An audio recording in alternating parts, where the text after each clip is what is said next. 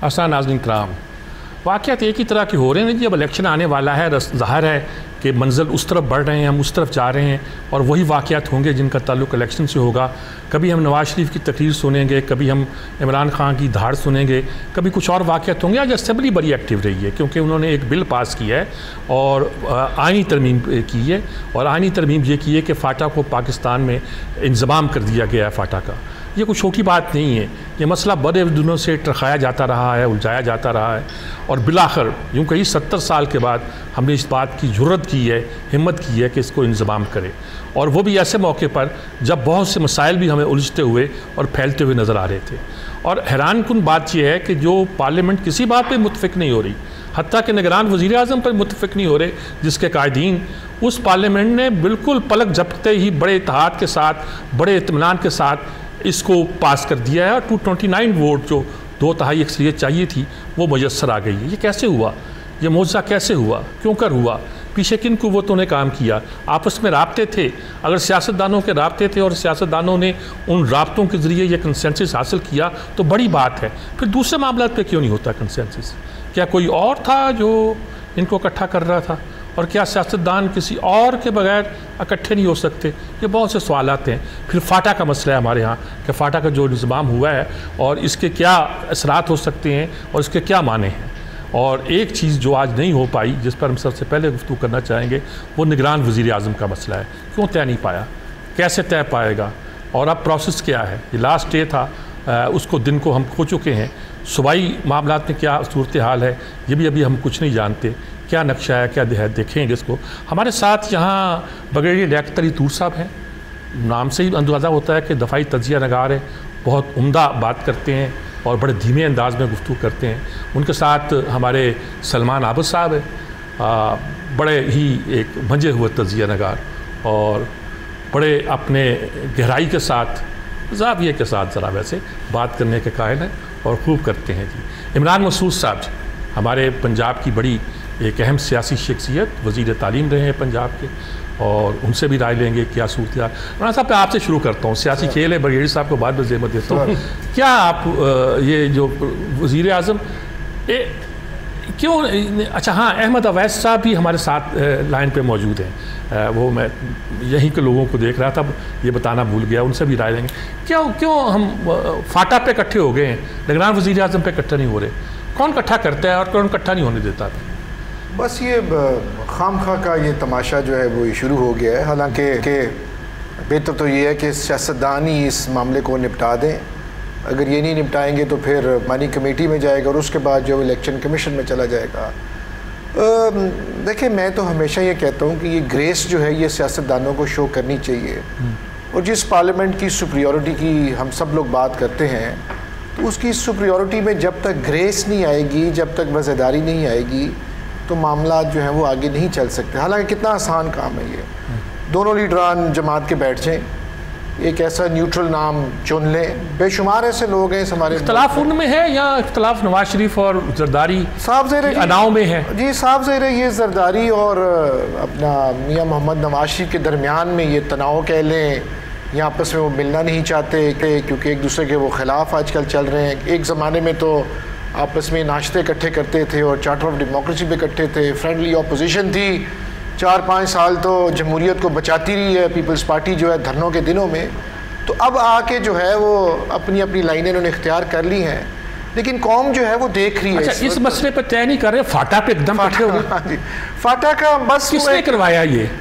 میں جس نے بھی کروایا اس سے کہنا چاہتا ہوں کم از کم کالا باغ ڈیم پر ہی جی کرا دے بس وہ کالا باغ ڈیم میں تو بہت بڑی سیاست ہے، سندھ کی سیاست ہے، کے پی کے کی سیاست ہے۔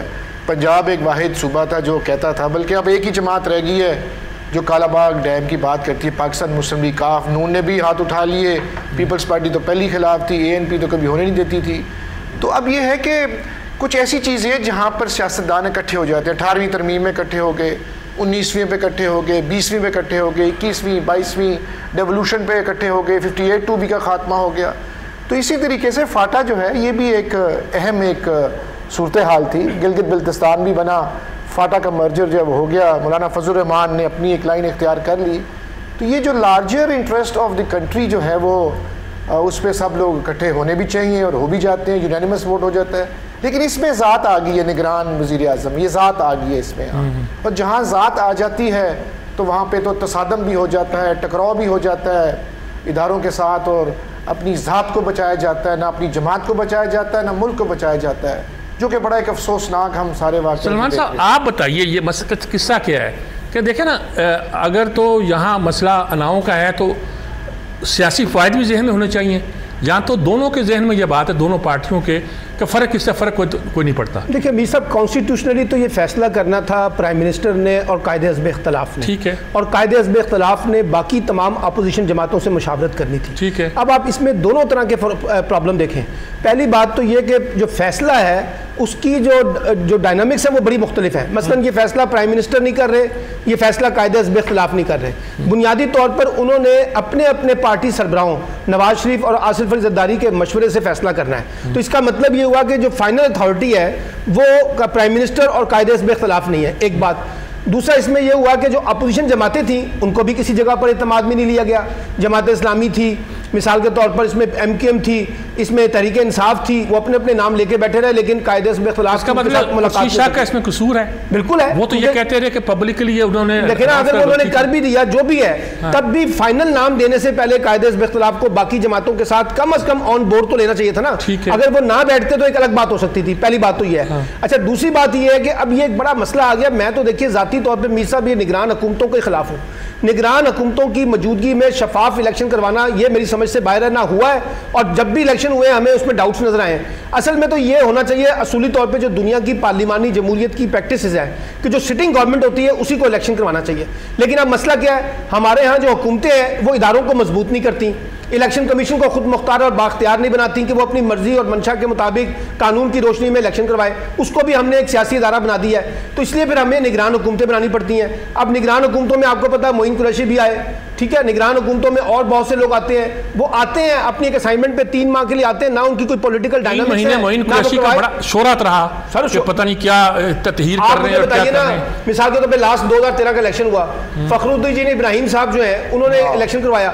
آج تک وہ خاموش ہو کے بیٹھے ہوئے ہیں جتنی شکایات ہے اس میں انہوں نے ایک لفظ نہیں کہا کہنے کہ میں مسلحت کے تحت نظریہ ضرور کے تحت خاموش ہوں۔ وہ بھائی الیکشن کمیشن تو وہ ہوتا ہے جس میں شکایات ہوتی ہیں پھر وہ آ کے جواب دیتا ہے۔ اچھا، لوگوں کو مطمئن کرتا ہے ہمارے یہاں ایک چھوٹا سوال میں نے اور پوچھا تھا کہ یہ تو کٹھے ہو گئے، نہیں ہو رہے اس مسئلے پر۔ یہ اس پہ کیسے کٹھے ہو جاتے ہیں یہ جو فاٹا والا بس دیکھیں، کچھ معاملات ایسے ہیں، میر صاحب، آپ کو بھی پتا ہے، مجھے بھی پتا ہے کہ کچھ پس پردہ طاقتیں جو ہے نا، وہ سیاسی جماعتوں کے اوپر ڈومیننٹ ہیں۔ ہمارے ہاں سیاسی جماعتیں اس طرح کی مضبوط نہیں ہیں جس طرح سے ہم بات کرتے ہیں۔ اب ہوتا یہ ہے کہ فیصلہ ٹھیک ہے فیصلہ ٹھیک ہونے پہ لیکن یہ یہ فیصلہ ٹھیک ہے اور بہت اچھا فیصلہ ہے۔ لیکن یہ فیصلہ جس نے بھی کروایا ہے وہ بھی آپ کو پتا ہے مجھے بھی پتا ہے کہ انہوں نے اس پہ کیا۔ اب دیکھیں نا اس فیصلے کے تحت نواز شریف صاحب کو اپنے سب سے بڑے اتحادی جو مولانا فضل الرحمان جو بڑے دیدہ دلیری سے ان کی حمایت کر رہے تھے ان کی مغالفت لینی پڑی ہے۔ اور انہوں نے تو اس کی سخت مغالفت کی تھی آپ کو پتا ہے۔ محمود خان اچکزئی نے مغالفت کی تھی۔ لیکن اس کے باوجود جہاں سے فیصلہ آیا ہے اس کے مطابق باقی سیاسی سیاسی جماعتوں نے اس کے اوپر اپنا ووٹ لگا دیا ہے۔ یہ ہمارے یہاں ہوتا ہے۔ آپ کیا تجزیہ کرتے ہیں اس والی صورتحال کا؟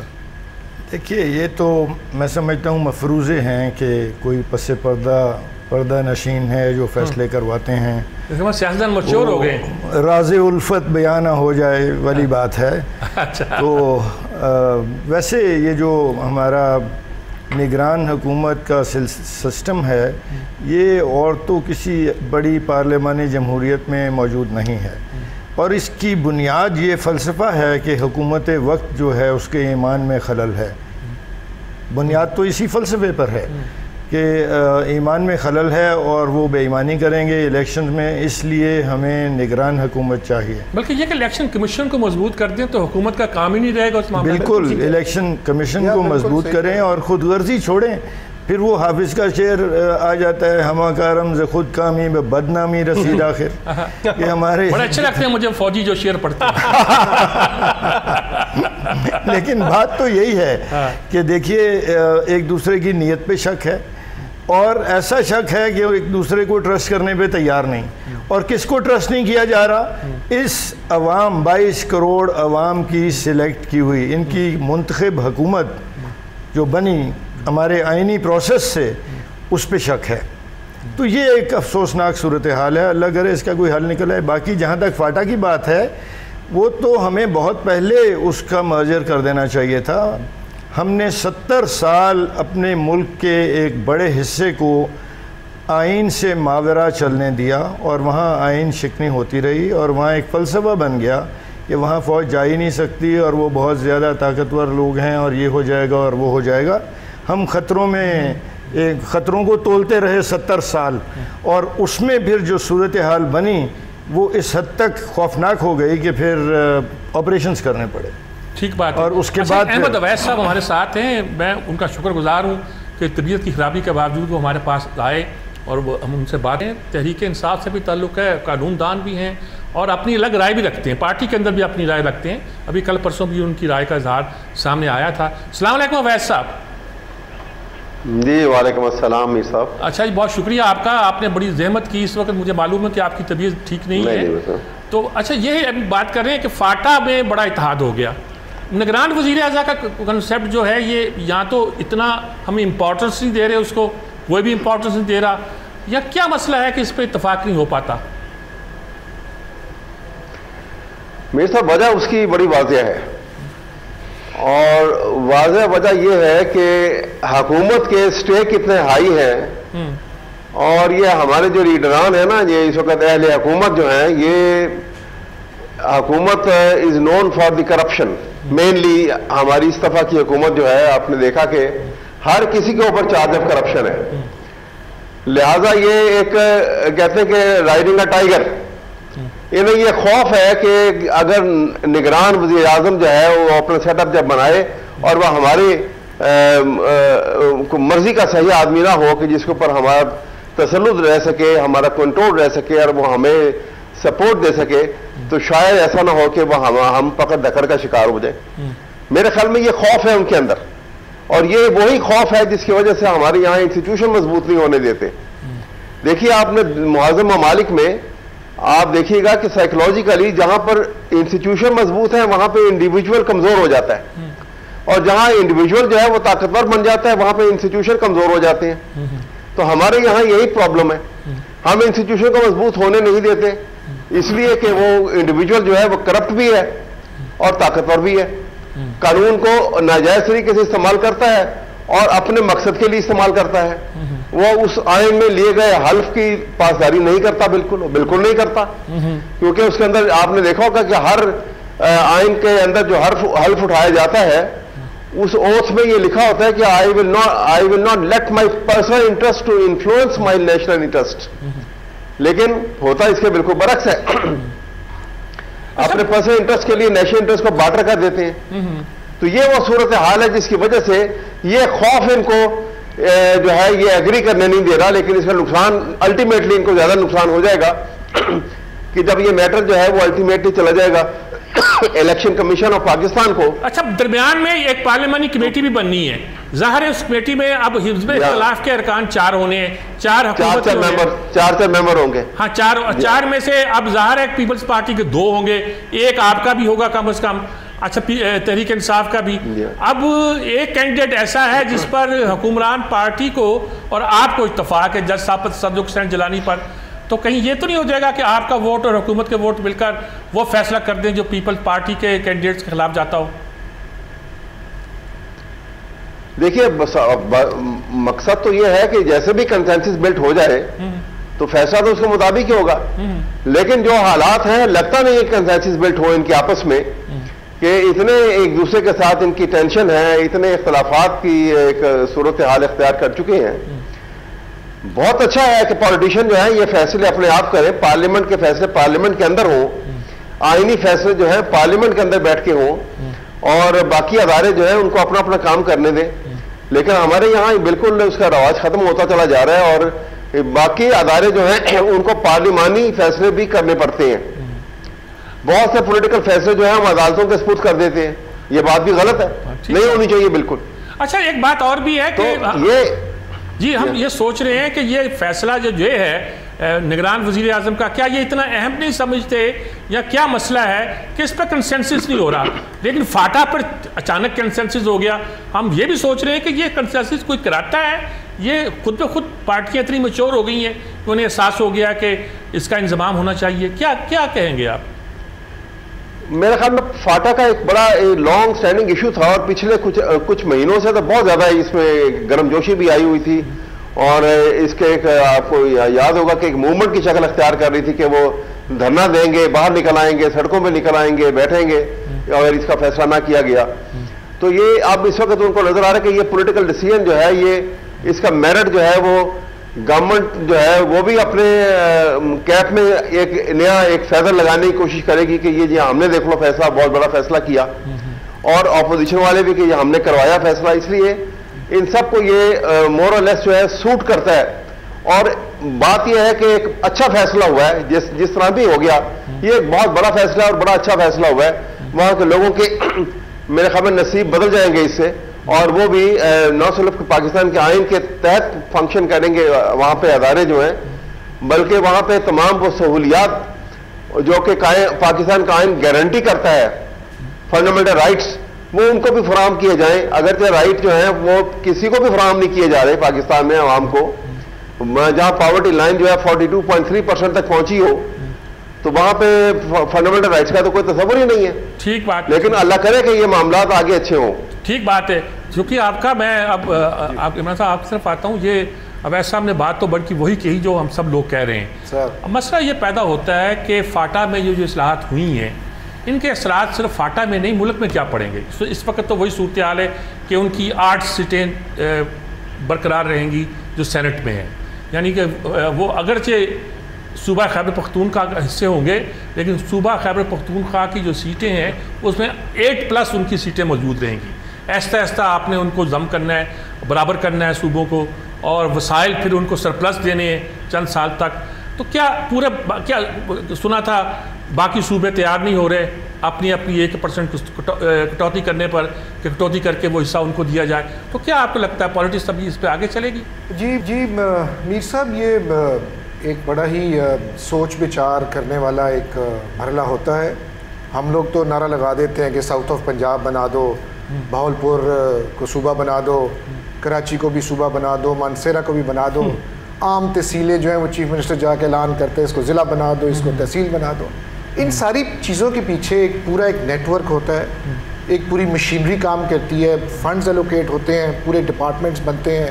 جب بھی کبھی کوئی سب ڈویژن تحصیل بنتی ہے وہاں پہ تحصیل ہیڈ کوارٹر اسپتال بھی آ جاتا ہے وہاں پہ اسسٹنٹ کمشنر کا دفتر بھی آ جاتا ہے وغیرہ وغیرہ سارا۔ تو یہ مذاق نہیں ہے۔ دیکھیں فاٹا جو اگر مرج کرے گا فاٹا کا مرجر اور یہ ایک بہت بڑی لمبی داستان اور اس پہ بڑا ہوم ورک ہوا ہوا ہے۔ اس سے ہم نے خمیازہ بھی بھگتا ہوا ہے۔ اس سے ہم نے اپنا نقصان بھی ہمیں ہوا ہے۔ اور لوگوں کی محرومیاں بھی اس میں شامل ہیں۔ فاٹا والے جو پرو پاکستانی بے شمار ایسے لوگ ہیں جو پاکستان کے لیے جان دینا چاہتے ہیں لیکن ان کو ووٹ ڈالنے کا حق ہی نہیں ملتا سارا۔ تو یہ اس پہ اثرات جو صاف ہوں گے جب نیشنل فائنانس کمیشن میں جب صوبوں میں پیسہ بانٹا جاتا ہے تو صوبے پھر آ کے لڑتے ہیں کہ ہمیں پانی دیجیے ہمیں پیسہ دیجیے۔ پھر کامن جو سی سی آئی جو بنتی ہے کاؤنسل آف کامن انٹرسٹ بنتی ہے۔ تو یہ ایک ریگولر پروسیس ہے۔ اور جب آپ پیسے کی جب اپنا کرتے ہیں اپنا اس کی تقسیم۔ تقسیم جب کرتے ہیں اس کا فارمولا پہلے پاپولیشن بیسڈ بنا ہوا تھا۔ اور پاپولیشن پنجاب میں سب سے زیادہ تھی سکسٹی پرسینٹ آج بھی زیادہ ہے۔ تو تینوں باقی صوبے جو تھے وہ پنجاب کے خلاف ہوتے تھے کہ جی آپ کماتے ہمیں سندھ والے، کراچی والے اور سارا پیسہ جو ہے وہ صوبہ پنجاب لے جاتا ہے۔ تو یہ جو ڈسٹریبیوشن تھی، یہ پاپولیشن بیسڈ یہ چینج ہوگی۔ اب آ کے میاں شہباز شریف صاحب نے یہ چینج کر دیا اور یہ ہاتھ کاٹ کے دے دیے۔ چونکہ ہم پنجاب کے، ہم تو پنجاب کی بات کریں گے۔ تو انہوں نے کہا یہ رائلٹی بیس پہ آپ کر دیں کہ جہاں بجلی پیدا ہوتی ہے، پہلے وہاں پہ بجلی دے دو۔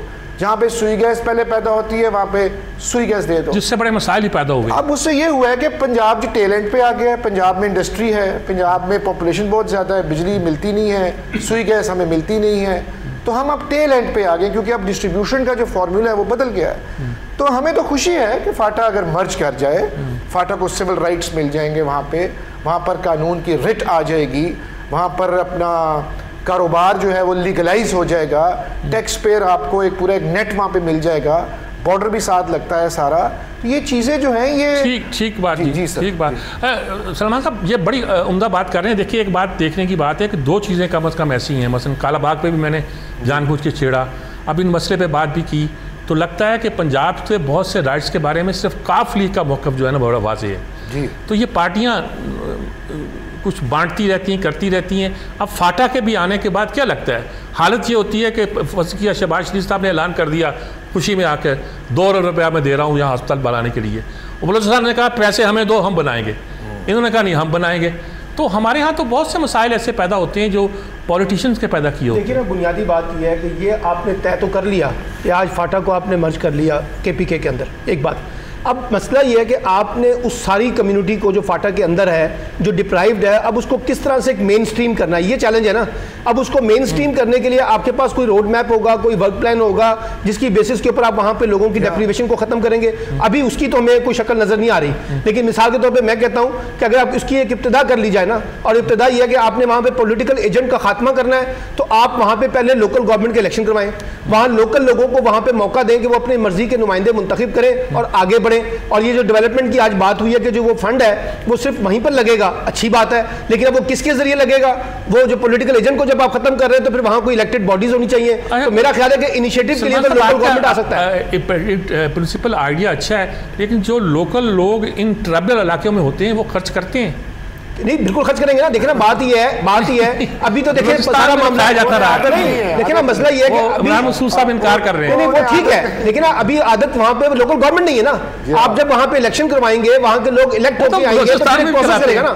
دیکھیں فوری طور پہ کچھ نہیں ہونے والا۔ ہاں۔ کوئی بڑی اچانک انقلاب نہیں آئے گا۔ ایک پروسیس کو آپ نے لیڈ کرنا ہے نا۔ اس پروسیس کو آگے لے کے چلیں گے تو چیزیں آ جائیں گی۔ اب سیاسی جماعتوں کا مسئلہ کیا ہے؟ اب انہوں نے یہاں پولیٹیکل سکور تو کر لیے۔ ایک فاٹا کے اوپر ایک مرجنگ ہو گئی۔ لیکن اب اگر سیاسی جماعتیں ایک انٹلیکچول طریقے سے ایک زیادہ سٹرونگ ہوم ورک کے ذریعے فاٹا کی مین سٹریم کو نہیں کریں گے ان کی ڈیپریویشن کے لیے ان کے پاس کوئی پلان نہیں ہوگا تو پھر وہ مسئلہ یہ ہو جائے گا کہ بن گیا ہے لیکن اس سے مسئلے حل نہیں ہوں گے۔ آپ نئے صوبے بنا لیں نئے ضلع بنا لیں نئے فلاں بنا لیں لیکن آپ کے پاس پورا پلان ہونا چاہیے کہ آپ اس کو کہاں لے کے جانا چاہتے ہیں اور کس طرح سے وہ ڈیپریویشن کو ختم کریں گے یہ بنیادی سوال ہے جو اب اب فاٹا کے لوگ کہیں گے مرج ہو گئے لیکن اب ہماری کہیں گے؟ جی میرے خیال میں جو حقیقت ہے اس کا ادراک ہونا چاہیے۔ فاٹا کے اندر جو پہلے سسٹم تھا وہ ایف سی آر کا جو معاملہ تھا وہاں کچھ اس قسم کی سچویشن تھی کہ شکایت ایف سی آر کی بہت کی جاتی تھی۔ لیکن جب بھی ایف سی آر کو ختم کرنے کی بات آئی تو قبائلی ملکوں نے کہا کہ مت ختم کرو۔ ٹھیک ہے۔ کیونکہ اس سے جو ہم نے پاکستان نے ایف سی آر کا جو حال کیا اس میں جتنی سخت شکیں تھیں وہ نرم کر دیں اور جتنی اس میں ڈیمانڈز تھیں حکومت کی طرف سے قبائل کے اوپر، وہ نرم کر دیں اور جو قانون تھا جو جس کے تحت شکنجہ کسا جاتا تھا، اس شکنجے کو عضو معطل بنا دیا۔ اس سے بد امنی پیدا ہوئی۔ بیکاز وہاں پر drug running gun running abductions گاڑیاں چرانا۔ اور یہ وقت آ گیا کہ فوجی افسر کی گاڑی چوری ہوتی ہے یا کسی سرکاری افسر کی گاڑی چوری ہوتی ہے، تو اس کو ڈی آئی جی صاحب فرما رہے ہیں کہ یار کتنے پیسے مانگتے ہیں؟ انہوں نے کہا، یہ دس لاکھ مانگ رہے ہیں۔ میں تین لاکھ میں کام کروا دوں گا۔ یعنی پولیس والے خود کہہ رہے ہیں۔ یہ عالم تھا وہاں پر لاقانونیت کا۔ تو اب امید ہے کہ فاٹا کے مرجر سے کم از کم وہاں قانون کی عملداری ہوگی۔ اور آئینی حکومت چلے گی جیسی بھی بنے گی وہ آئین کے تحت ہوگی۔ ٹھیک بات میں جی اویس صاحب آپ مجھے بتائیے گا کہ اس فاٹا کے بارے میں مرجر کے بہت سے مسائل یہ بیان کر رہے ہیں کہ پہلے یہ ہوتا رہا ہے لا قانونیت وہاں تھی اور بہت سی باتیں تھیں۔ ہم نے ان کو حقوق نہیں دیے۔ اب بھی صوبے ریلیکٹنٹ ہیں پیسہ دینے میں۔ پنجاب اپنے حصے کا دیتا ہے دوسرے صوبے نہیں دیتے۔ چھوٹے صوبوں کے اپنے مسائل ہیں۔ کیا اب کیا لگتا ہے آپ کو ہمیں کس بات پہ کنسنٹریٹ کرنا پڑے گا فاٹا کو پاکستان کا سچ مچ جز بنانے کے لیے؟ دیکھیے سب سے ضروری چیز یہ ہے کہ تمام صوبوں کو بشمول پنجاب، باقی تمام صوبوں کو بڑا بینوولنٹلی بڑے کھلے دل کے ساتھ وہاں کے لوگوں کے مسائل کے حل کے لیے جو مختص کر رہے ہیں، وہاں کے فنڈز جو ہیں وہ بڑے کھلے دل سے دینے پڑیں گے۔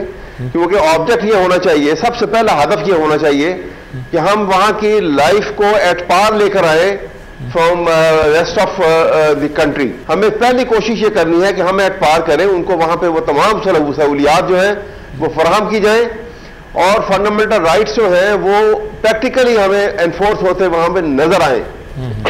تاکہ تب ان لوگوں کو یہ احساس ہوگا کہ وہ مرجع اگر ہوا ہے تو it is for the betterment of their life اور ان کے سٹیٹس میں فائدہ ہوگا ان کا سٹیٹس جو ہے وہ اپ گریڈ ہوگا اس سے۔ تب تو فائدہ ہے۔ ہاں۔ لیکن اگر وہی بدحالی رہتی ہے اگر وہی بدحالی رہتی ہے جو اب ہے یا اس سے پہلے تھی اور ایک ایک علاقے کے لوگوں کو بہت سہولیات ہیں اور باقی لوگ جو ہیں مسئلہ آپ دیکھیے۔ لاہور کے لوگ جو ہیں وہ میرے خیال میں لگتا ہے کہ آسمان سے اسپیشل مخلوق اتار کے انہوں نے ان کے لیے سہولیات مہیا کی ہیں۔ اور ساؤتھ پنجاب میں چلے جائیے۔ تو پاورٹی لائن آپ کو پتا کہ ساؤتھ پنجاب میں ففٹی فائیو پرسینٹ سے اوپر جا رہی ہے اس وقت۔ اور ایک چھپڑ سے پانی پیتے ہیں عوام جانور لوگ تمام۔ وہی زندگی کی علامت ہے۔ اور یہ حالات نائنٹین فورٹی سیون میں بھی ایسے تھے اور آج دو ہزار اٹھارہ میں بھی ایسے ہی ہیں۔ تو جب ایسی صورت حال ہوگی تو پھر لوگ جو ہیں وہ جس میں الگ صوبے کی بات کرتے ہیں اسی طرح سے وہاں پر بھی وہ سینس جو ہے پارٹیسپیشن کی۔ جمہوریت کا سب سے پہلا اور سب سے ضروری کام جو ہے اور جہاں سے کامیاب ہوتی ہے جمہوریت کہ سینس آف پارٹیسپیشن ڈیولپ ہوتا ہے۔ کہ گورنمنٹ کے جی۔ معاملات میں اسٹیٹ افیئرس کے اندر ہم پارٹیسپیٹ کر رہے ہیں۔ ہم خود اس کو بنا رہے ہیں اپنی اسٹیٹ کو۔ جی بہت شکریہ۔ اگر سینس ڈیولپ نہیں ہوگی۔ اویس صاحب آپ کا بہت شکریہ۔ آپ کی طبیعت چونکہ کچھ ٹھیک نہیں تھی میں آپ کا شکریہ ادا کرتا ہوں آپ سے اجازت بھی چاہتا ہوں۔ کو ہم نے زحمت دی۔ آپ کا بہت بہت شکریہ۔ اس کے ساتھ لیتے ہیں ایک وقفہ وقفے کے بعد حاضر ہوتے ہیں۔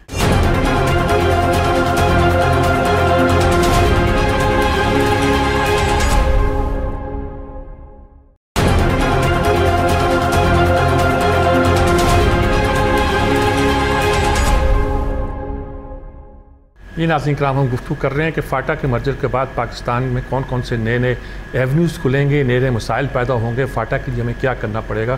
اسی پر ہم بات کر رہے تھے بات کر صاحب میں آپ پہلے آپ سے پوچھتا ہوں کیا آپ ابھی کچھ وقفے میں بات کر رہے تھے؟ کیا مسائل ہیں جو ہم نے فاٹا کو چھٹی دے کر پیدا کر دی ہے وہاں کا آدمی آتا ہے گھر بنا لیتا ہے یعنی انگریز نے کیا سختیاں کی دیکھیے وہاں وہاں ایک قانون موجود تھا جس کو ایف سی آر کہتے تھے۔ اس ایف ٹی آر کے تحت کچھ پابندیاں تھیں۔ اور کچھ ان کے حقوق تھے۔ اور وہ ایک اس قسم کا قانون تھا کہ انگریز یہ کہتے تھے کہ تم چونکہ ہمارا قانون نہیں مانتے اس لیے ہم تمہارے ایریے میں آ کے نہ تو ایڈمنسٹریشن کریں گے نہ کوئی ڈیولپمنٹ کریں گے۔ اور وہ انہوں نے نہیں کیا۔ اچھا قبائلی اگر سیٹلڈ ایریے میں آتا تھا تو وہ ایک خاص وقت کے لیے آتا تھا پی اے سے پرمیشن لے کے۔ پاکستان نے کیا کیا کہ جو پابندیاں تھیں ان کو نرم کر دیا۔ ٹھیک ہے؟ اور جہاں قانون نے گرفت کرنی تھی، وہ گرفت ہم کر نہیں سکے۔ تو وہاں قانون بالکل ہی ناپید ہو گیا۔ اور اس کی وجہ سے۔ میں نوے پرسنٹ علاقہ لیوی کے پاس ہے اور لیوی ٹرینڈ ہی نہیں ہے۔ لیوی جو ہے وہ بہت معمولی سی فورس ہے اور اس کا کنٹرول جو ہے وہ سرداروں کے پاس پرسنٹ سے پولیس کے پاس ہے۔ کیونکہ اس میں جو بندے آتے ہیں وہ لوکل ٹرائبل لیڈر سے سفارش پر آتے ہیں۔ ہاں۔ اور حالت یہ ہے کہ وہاں پہ بڑے بڑے لوگ بھی تھے۔ ابھی لیویز کو کافی امپروو کیا گیا۔ آپ کوٹا سسٹم کے بارے میں بات کر رہے تھے میں کوٹا سسٹم کے بارے میں یہ کہہ رہا تھا کہ جیسے فاٹا کے مسئلے ہیں بلوچستان کے مسائل ہیں ہم جا کے وہاں کہتے ہیں جی بڑا احساس محرومی اور معافیاں بھی مانگ لیتے ہیں ہم۔ لیکن وہاں اس سے منفی تاثر پھیلتا ہے۔ ہم یہ نہیں بتاتے کہ وہاں بہتری کیا ہوئی۔ ٹھیک ہے؟ اور جبکہ ہماری اپنی جو ایڈمنسٹریشن ہے، اس کا یہ حال ہے کہ ہم ستر سال سے کوٹا سسٹم کے اوپر جو جو فیڈرل سروسز ہیں، وہ کوٹا سسٹم پہ چل رہی ہیں۔ اور جب کوئی نالائق سروس کے اندر گھس جاتا ہے، تو وہ ایک دو سال کی بات نہیں ہے۔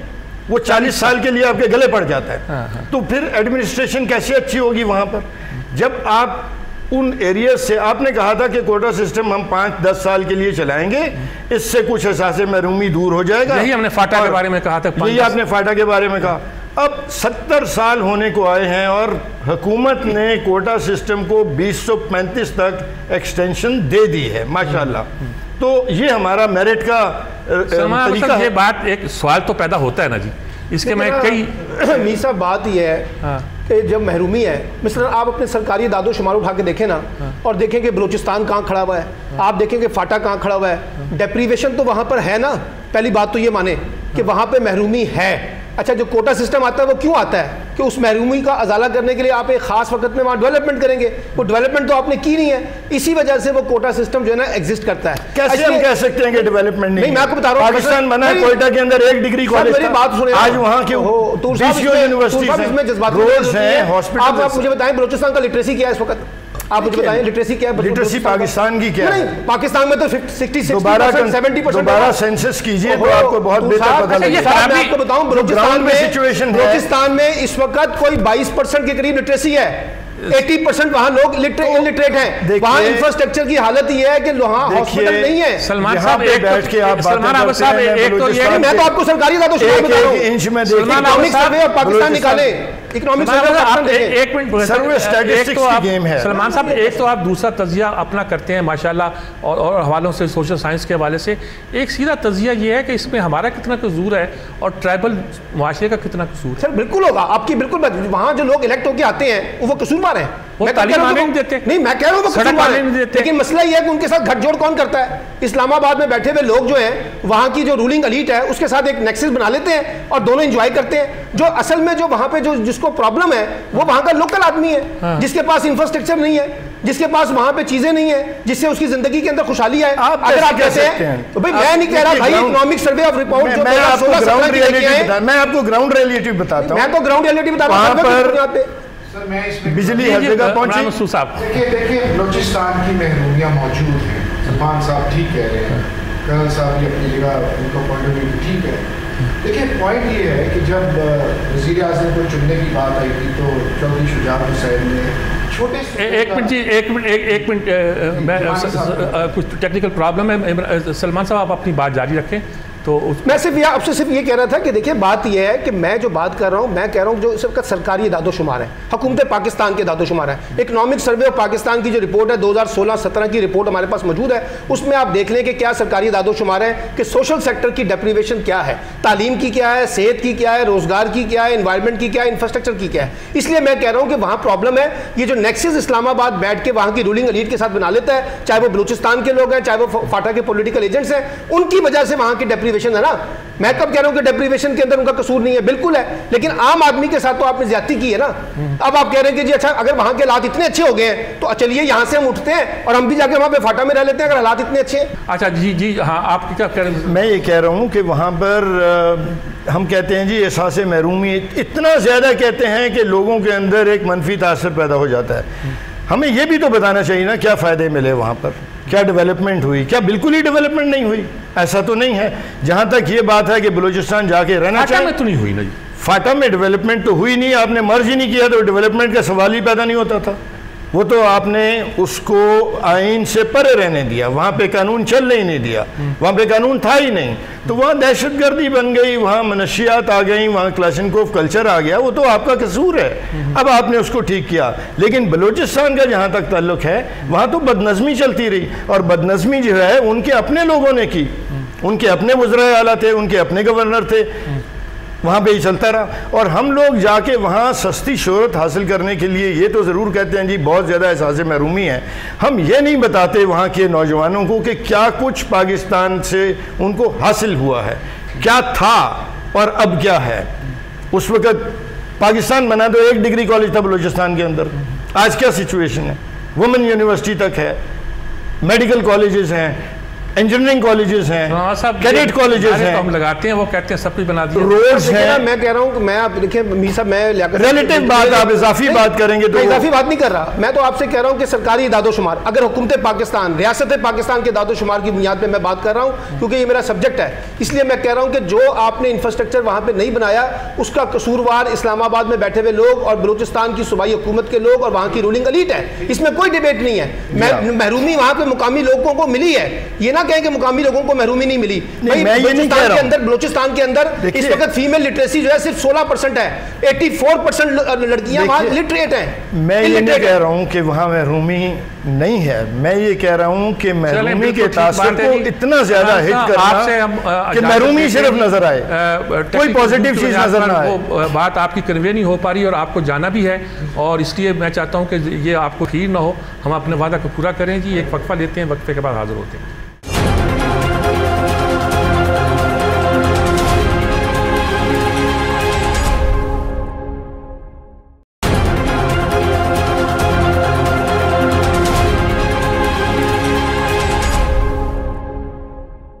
یہ ناظرین کرام، آپ گفتگو سن رہے ہیں۔ اب مسئلہ فاٹا کے ساتھ یہ بھی آ گیا کہ ہم نے جو کوٹا سسٹم تھا، وہ بھی عارضی وقت کے لیے دیا ہوا تھا، وہ پورا نہیں کر سکے۔ کوئٹے کی، بلوچستان کی سیاسی محرومی کا ذکر بھی ہوا، لیکن اس کے بارے میں بہت کچھ یہ کہا جا رہا ہے کہ بلوچستان والوں کو بہت سی مراد دی جاتی ہیں۔ یہ الگ بات ہے کہ مخصوص لوگ الیٹ ایک اشرافیہ، وہ کھا جاتا ہے، عوام کو کچھ نہیں ملتا۔ عوام کو نہیں ملتا لان تان اس طبقے کو کم ہوتی ہے، مرکز کو، وفاق کو اور دوسرے بڑی طاقتوں کو جو اس وفاق کے اندر ہیں، پنجاب کا صوبہ ان کو زیادہ ہوتی ہے۔ جی بغیر صاحب، کچھ کہہ رہے تھے آپ؟ جی میں یہ کہہ رہا تھا کہ ہم جو تاثر دیتے ہیں اس قسم کی باتیں کر کے، وہ اور زیادہ کچھ تو محرومی ہے۔ میں اس سے انکار نہیں کرتا ہوں کہ محرومی ہے، نہیں ہے۔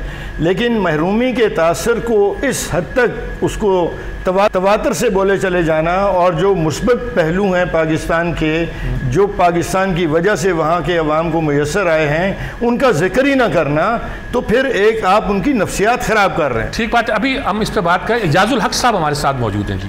ان سے بات کرتے ہیں جی دیکھتے ہیں ان کی رائے کیا ہے۔ السلام علیکم اجاز الحق صاحب۔ جی وعلیکم السلام۔ اچھا جی فاٹا کا بل تو ہو گیا پاس۔ بڑے اتفاق کے ساتھ اتحاد کے ساتھ کوئی ٹسل نہیں ہوئی۔ پارٹیاں جو ایک دوسرے سے بات بھی نہیں کر رہی تھیں انہوں نے بات چیت پتہ نہیں کی کہ نہیں کی لیکن ایک پلیٹ فارم پہ اکٹھی ہو گئی کوئی ان میں اختلاف نہیں تھا۔ وزیر اعظم کے مسئلے پر بھی اتفاق نہیں کر سکے۔ اس کا کیا وجہ ہے؟ کیا وہ اتفاق کروایا گیا ہے کہیں اور سے؟ یعنی ہے تو پاکستان کے انٹرسٹ میں۔ اور یہ جو نفاق ہے یہ ہماری سیاستدانوں کی کوتاہی ہے یا کیا کہیں گے آپ اس کو؟ دیکھیں، اپنا صاحب، ہر ایشو کے لیے جہاں جہاں بھی اس سے فوائد فوائد ہوتے ہیں یا جہاں جہاں انٹرسٹ ہوتا ہے، وہاں سے اس کے بارے میں ضرور ریکمنڈیشنز دی جاتی ہیں۔ اب ان ریکمنڈیشنز کو ہم کبھی کہتے ہیں جی مداخلت ہو رہی ہے، کبھی یہ اسٹیبلشمنٹ کو بات نہیں کرنی چاہیے۔ یہ ایشو جو ہے، یہ نیشنل سیکورٹی کاؤنسل میں دو یا تین مرتبہ ڈسکس ہوا ہے اور بڑا اہم ایشو ہے پاکستان کے مستقبل کے حوالے سے۔ نمبر ون یہ کہ ضرب اعظم کے دوران فوج نے بڑی قربانیاں دی اس علاقے کو پرامن کرنے کے لیے۔ اب اس علاقے کو پرامن کرنے کے لیے فوج نے کسی نہ کسی حال میں وہاں سے وڈرا کرنا ہے اور جب وہ وڈرا کریں گے تو اس کو اس طرح ہم ایز اے ٹرائبل اور کہتے نو مینس لینڈ نہیں چھوڑ سکتے۔ تو میں سمجھتا ہوں کہ اس میں ضرور ان کا انٹرسٹ اور ان پٹ ضرور ہوگی حکومت کو جناب کہ اس کو آپ کر لیں۔ ہو سکتا ہے کہ انہوں نے حکومت کے ذریعے یا خود دوسری پارٹیوں کو بھی کنونس کرنے کی کوشش کی ہو جس طرح کے جو فاٹا سے ریلیٹڈ ہیں اور جن کا تعلق کے پی کے سے ہے اور جن کا تعلق جو ہے وہ آئندہ فیوچر میں وہ جو سمجھتے ہیں کہ ان کا انٹرسٹ کیا ہوگا۔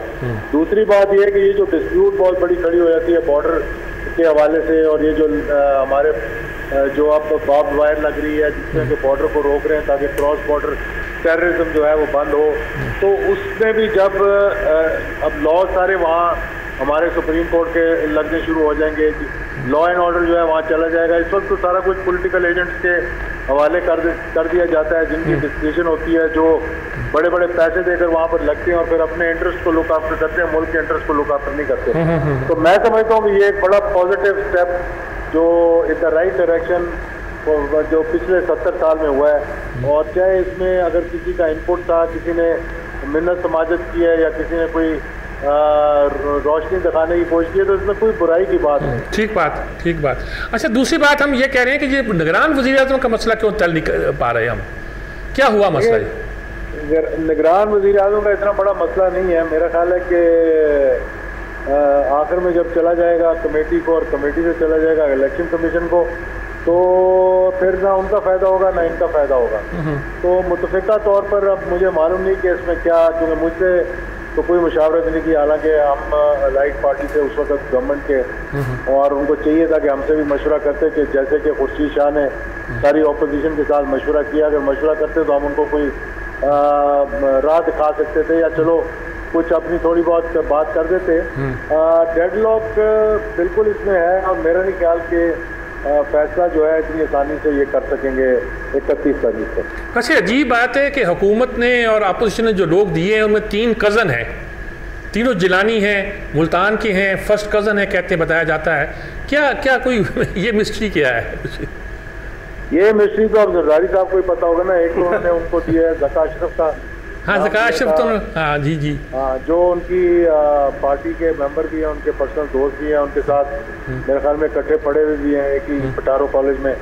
وہ بھی تعلق ان کا میرے خیال میں ہے۔ اس کے بعد پھر سارا یوسف رضا گیلانی صاحب نے انفلوئنس کیا ہوگا جس میں کہ انہوں نے تصدر گیلانی صاحب کا نام اور ہمارے جو امبیسڈر رہے ہیں امریکہ میں ان کو ان سے مجھے جلیل عباس ہاں جلانی اور سلیم جلیل عباس جلانی ایک بڑا میں سمجھتا ہوں نہایت ہی اچھے ڈپلومیٹ اچھے بیوروکریٹ تھے۔ لیکن پھر پی ایم ایل این نے بھی ایک اپنی شرط رکھی ہے کہ ہمیں بیوروکریٹس اور ججز اور جرنیل جو ہیں ان کے علاوہ کسی کو دیکھنا چاہیے۔ اور میں خود بھی یہ سمجھتا ہوں۔ کہ اگر اس وقت ملک کے حالات اور اکانومی کو اگر دیکھا جائے اور جس طرح جس رخ پر ہم جا رہے ہیں کہ یہ نہ ہو کہ دو ہزار آٹھ کی طرح جب حکومت ختم ہوئی تو پتہ لگا کہ بجلی بھی ختم ہو گئی گیس بھی ختم ہو گئی یوٹیلیٹی اسٹور کے آگے لائنیں لگنی شروع ہو گئی تو کوئی اکانومسٹ جو ہے ایک نیوٹرل سا شخصیت جو کہ ماہر ہو اکانومی کا اس کو لے کر اگر آیا جائے تاکہ وہ اس اسٹاپ گیپ ارینجمنٹ میں معاملات کو صحیح طریقے سے دیکھ سکے اور ان کو آگے لے ملک کی مشرق۔ بہت شکریہ اجاز حق صاحب آپ کا آپ نے ان مسائل پر بڑی ہماری جانب کی سلمان عابد صاحب ہم بات کر رہے تھے فاٹا کی اور کوئٹے کی ترقی کی یہ آپ محرومیوں کی بات کر رہے تھے۔ اچھا محرومیوں کی بات تو کی جاتی ہے لیکن کچھ بات یہ بھی کی جاتی ہے کہ دیکھیں کچھ معاملات ایسے ہیں جن کا مثلا فاٹا میں جو وہاں کے ملک تھے انہوں نے بہت کمایا۔ سمگلنگ ہوئی وہ جہاں پلازے کے پلازے خرید لیے اور پتہ نہیں کیا کیا، عوام غریب مرتے رہے۔ تو اس سسٹم کے ہوتے وجہ سے میں ٹرائب کہہ رہا ہوں۔ آپ کسی بڑی تبدیلی کی کتنی توقع رکھتے ہیں؟ میں نہیں کہہ رہا کہ اپنا میر صاحب کہ بہت بڑی تبدیلی اچانک آ جائے گی۔ یہ تو ایک ٹائم لگتا ہے چیزوں کو لے کے آگے بڑھنے میں۔ اب سوال میں نے وہی آپ سے آپ سے ہم نے رکھا تھا کہ اب آج کے بعد جو مرچ کرنے کے بعد آپ اس کو مین سٹریم کیسے کریں گے؟ ان لوگوں کو کیسے ان کی ڈیپریویشن کو اوپر لے کے آئیں گے؟ اس کا طریقہ کار بڑا سمپل سا ہے، جو دنیا کی پالیٹکس کا فارمولہ ہے۔ پہلی نمبر پہ یہ ہے کہ آپ لوگوں کو زیادہ سے زیادہ وہاں پہ امپاور کریں گے۔ آپ وہاں پہ سروس ڈلیوری کے سسٹم کو امپروو کریں گے۔ آپ وہاں لوگوں کو گورننس کے اندر پارٹیسپیشن دلوائیں گے۔ جیسے میں نے آپ کو کہا کہ لوکل گورنمنٹ کے الیکشن کروائیں۔ اس لیے کہ دیکھیے، آپ نے جب انتہا پسندی اور دہشت گردی کی بات کی، تو آپ نے کہا کہ ایک بڑا سٹف جو ہے نا، دہشت گردی کے کانٹیکس میں انتہا پسندی کے کانٹیکس میں ان علاقوں سے آتا ہے۔ اب ان علاقوں کو مین سٹریم کرنے کے لیے ان کو ایک نارمل لائف میں لانے کے لیے آپ کے پاس وہاں افرمیٹیو ایکشنز کرنے پڑیں گے۔ اور جیسے میں تو ایک اور بات کہنا چاہتا ہوں پچھلے چند برسوں میں پاکستانی آرمی نے وہاں پہ بڑے انیشیٹو لیے ہیں۔ مثلا اسکولز بنائے ہیں کالجز بنائے ہیں نوجوانوں کو انگیج کیا ہے۔ میں خود ایک پروگرام میں گیا تھا وہاں پہ انہوں نے ہمیں بہت کچھ دکھایا ہے۔ اب اس کو وہاں کی صوبائی حکومت جو کے پی کے کے اندر حکومت ہوگی جو آنے والے الیکشن میں الیکٹ ہو کے آئے گی اس کا کام یہ ہے کہ وہ ان چیزوں کو زیادہ پاور کرے زیادہ امپاور کر کے چاہے۔ تو چیزیں آہستہ آہستہ ٹھیک ہوں گی۔ آپ کو میں بتاتا ہوں کہ اگر آپ وہاں دو تین کنٹینیوس الیکشن کروا دیں نا لوکل کے تو آپ دیکھیے گا کہ اس کا بڑا فرق پڑے گا کہ وہاں کے لوگوں کو لگے گا کہ ہم امپاور ہوئے ہیں۔ ہمارے لوکل مسئلوں کے اندر وہ جو ملکس کا رول ہے ان کو نکل کے الیکٹڈ باڈی آ گئی ہے جو ہم نے ہمارے ووٹوں سے الیکٹ ہو کے آتی ہے۔ اس کے نتیجے میں ہم زیادہ بہتر لگتا ہے کہ وہ لوگ الیکٹ ہو جائیں گے جو ملک کے انفلوئنس سے باہر شروع میں مسئلہ آئے گا شروع میں آئے گا وہاں کے لوگ بڑے بڑے فیوڈل آئیں گے۔ لیکن ابھی ہمارے یہاں جو پولیٹکس ہوتی ہے یہاں عام آدمی تو الیکشن ہی جیتتا۔ یہاں پہ بھی وہ بڑے بڑے فیوڈل جو ہے ہمارے ٹرائبس کے لوگ الیکشن جیت کے آتے ہیں نا، تو آہستہ آہستہ یہ چیزیں ٹوٹیں گی اور اس کا نتیجہ یہ ہوگا کہ وہاں لوکل لوگ بھی آئیں گے ملکس کے مقابلے میں۔ یہ بات تو جی بالکل اصولی طور پر تھیوریٹیکلی وہ بالکل صحیح بات کر رہے ہیں۔ لیکن گراؤنڈ کے اوپر کیا سچویشن ہے؟ گراؤنڈ کے اوپر یہ سچویشن ہے کہ نائنٹی فائیو پرسینٹ بلوچستان جو ہے وہ بی ایریا ہے جہاں پہ پولیس کی عملداری نہیں ہے وہاں لیویز کی ہے اور لیوی ایک کمزور فورس ہے۔ وہ بغیر ملک کی اور سردار کی کنسلٹیشن کے اور پولیٹیکل کنسیڈریشنز کے ایف آئی آر نہیں لانچ کر سکتے۔ تو فاٹا میں بلوچستان میں؟ میں بلوچستان کی بات کر رہا ہوں۔ اچھا اچھا فاٹا بھی تو فاٹا کے اندر اب ہم جو سسٹم بنائیں گے کہیں وہ ایسا ہی سسٹم تو نہیں ہوگا۔ جہاں پر پھر وہی جو آپ بات کر رہے ہیں کہ وہاں پہ فیوڈل لارڈز جو ہیں ان کی ان کی ہولڈ ہے۔ اور وہ ملک جو ہیں ان کی ہولڈ ہے۔ وہ بھی فیوڈل لارڈ ہی ہے نا۔ ملک جو ہے فیوڈل لارڈ ہے۔ اور اس کا کنٹرول ہے۔ ٹرائبل کے ایریے کے اوپر پی اے سے پیسے لیتا ہے۔ اور تمام جو ہے وہ وہاں پر جو غلط کام ہوتے تھے ان کو اس سے پیسے ملتے تھے۔ اور اس سے دولت مل رہی تھی۔ بے تحاشا۔ اور جو آپ بات کرتے ہیں یعنی ان کے کوٹا سسٹمز کی اور جو ہم نے سسٹم چلایا، وہ یہ ہے کہ ملک صاحب کے بچے جو ہیں، وہ بیکن ہاؤس لاہور میں پڑھ رہے ہیں۔ چار بیوی ہیں، ماشاءاللہ، وہ پنڈی اور اسلام آباد اور لاہور کے اندر سیٹلڈ ہیں۔ اور یہ بچے جب پڑھنے کے بعد سی ایس ایس کا امتحان دیں گے، تو یہ ٹرائبل ایریا کا کوٹا سسٹم لے کے آ جائیں گے۔ تو ہم نے پاکستان کو مصیبت میں ڈال دیا اس کوٹا سسٹم کے ذریعے لوگوں کو اشرافیہ کو چند لوگوں کو ہم نے وہ دیپ جس کا محلہ تھی میں جلے والی بات ہے نا ہاں۔ ان کے دیپ محلات میں چند لوگوں کی خوشیوں کو لے کر چلتے ہیں ہاں۔ اور چند لوگوں کی خوشیوں کی وجہ سے پاکستان کو سب سے بڑا نقصان ہوا ہے کیونکہ پاکستان کے عوام نالاں ہیں اور وہ بجا طور پر نالا ہیں یہ سلمان صاحب یہ بات تو ٹھیک ہے کہ ہمارا جتنا سسٹم بنا ہوا ہے وہ الیٹ کو فائدہ پہنچاتا ہے۔ اس میں کوئی ڈیبیٹ نہیں ہے۔ اسی لیے تو کہتا ہوں کہ سسٹم کو بریک کرنا ہوگا نا۔ اس سسٹم کو بریک کرنے کا طریقہ یہ ہے کہ آپ لوگوں کو عام لوگوں کو زیادہ سے زیادہ امپاور کریں۔ اچھا اب یہ کوٹا سسٹم کی بات بالکل ٹھیک ہے کہ کوٹا سسٹم کوئی مستقل تو نہیں رہنا چاہیے لیکن جتنے عرصے کے لیے آتا ہے اس میں آپ کو ان کی ان کو زیادہ امپاور کریں تاکہ چیزیں واپس سال میں امپاورمنٹ نہیں ہوئی۔ میری بات سنیں اب عورتوں کی نمائندگی ہے میر صاحب عورتوں کی۔ نمائندگی جنرل ضیاء صاحب نے جب وہ دی تھی ٹین پرسنٹ تو انہوں نے کہا تھا یہ اگلے تین الیکشن تک ہوگی وہ اگلے تین الیکشن کے بعد مستقل چلی آ رہی ہے وجہ کیا ہے کہ آپ نے وہاں پر عورتوں کو امپاور نہیں کیا اب پرابلم یہ ہے کہ آپ اس کوٹا سسٹم کا تو رونا رو رہے ہیں لیکن جو وفاقی اور صوبائی حکومتیں نے وہاں لوگوں کو امپاور کرنا تھا وہ نہیں کیا تو اس لیے میں کہہ رہا ہوں کوٹا سسٹم سلمان عابد صاحب کی ناظرین کرام رائے یہ ہے کہ ہمیں لوگوں کو امپاور کرنا ہے اگر ہم نے فاٹا کا انضمام کیا ہے تو ہمیں ان لوگوں کو حقوق دینے ہیں وہاں بنیادی ایک طرح کے الیکشن کروانے ہیں، بلدیاتی الیکشن کروانے ہیں۔ اور اس الیکشن کے نتیجے پر وہاں کے ملک، وہاں کے بعض سے لوگ آئیں گے تو صحیح، لیکن ان کے نتیجے کے ایسا آہستہ عوام کے پاس پاور جائے گی تو پھر جو خاص اشرافیہ لوٹتی ہے وہ پیچھے ہٹ جائے گی۔ گیٹ صاحب کی رائے اور دوسری رائے یہ بھی آئی ہے سامنے ہمارے کہ ہمیں یہ دیکھنا چاہیے کہ ہم نے اس پوری جتنی مراعات ان لوگوں کو دی ہوئی تھی، چاہے فاٹا میں، چاہے بلوچستان میں، جو انہوں نے ایک ایک گنوائی، اس کا فائدہ وہاں کی الیٹ تو اٹھاتی رہی۔ عام آدمی کو کچھ نہیں ملا۔ کیا ایسا تو نہیں ہوگا؟ اب بھی عام آدمی محروم رہے گا اور چند لوگ اپنے کھانے پکانے کا اور رہنے کا اور اپنے خوشحال ہونے کا بندوبست کرتے رہیں گے اور غریبوں کی غربت کا کچھ دور ہوگا۔ اگر ہم نے وہاں صنعتیں لگا دیں اگر ہم نے وہاں ماڈرنائزیشن کر دی، اگر ہم نے رسل وسائل کے وسائل کو بہتر کر دیا، اگر ہم نے وہاں تعلیم کے انتظامات کر دیے، اگر عام آدمی کے لیے تعلیم تک رسائی آسان ہو گئی اور نوکریوں تک پہنچنا اس کے لیے مشکل نہیں رہا، تو یقینی تبدیلی آئے گی۔ اور اگر ہم سب یہ دکھاوے کے لیے کیا، تو دکھاوے کا کام کبھی با اثر نہیں ہوتا اور کبھی رنگ نہیں لایا کرتا۔ اجازت چاہتا ہوں، اللہ حافظ۔